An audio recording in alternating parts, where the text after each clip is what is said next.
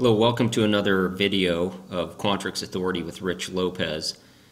I'm excited you could join me today, and today I want to show you some awesome functionality in Quantrix known as the select function, and we're going to use that with the sum function as well.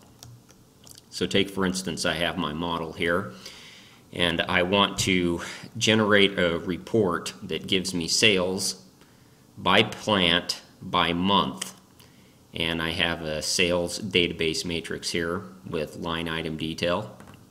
And what I'm going to do is, in the last video I showed you, I showed you how you could use using as to link items to categories, and I did that with month to month and plant ID to plant. Well, today I want to show you the power of the select statement.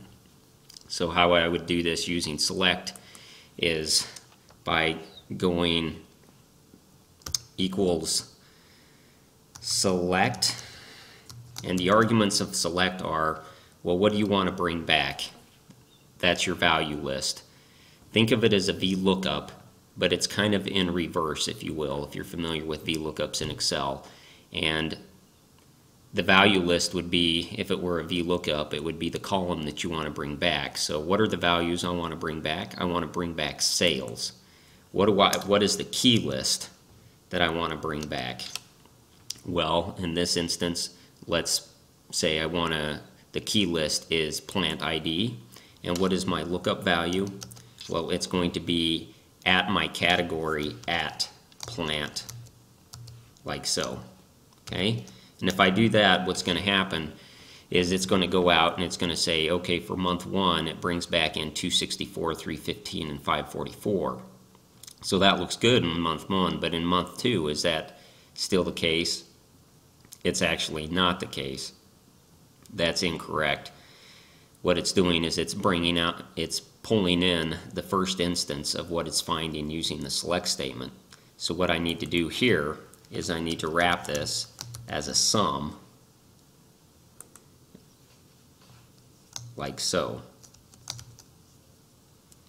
And when I do that, it goes out and it finds out all of the values that coincide with plant ID A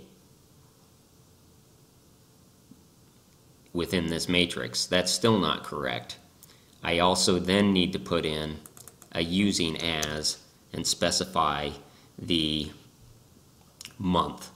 So again, using as is using selecting an item, which would be month, as a category, as month here.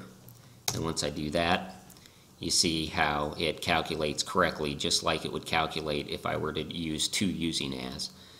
So here's a simple way of how you can use sum select and using as if you don't want to use using as. Uh, Select is very powerful in its uh, many capabilities and join me next time and I'll show you a little bit more about the select function. And again, if you have any questions about Quantrix Modeler, feel free to drop me a line at quantrixauthority at gmail.com or go ahead and send me a comment in this video be below at Quantrix Authority and I'd be more than happy to try to answer your questions because I love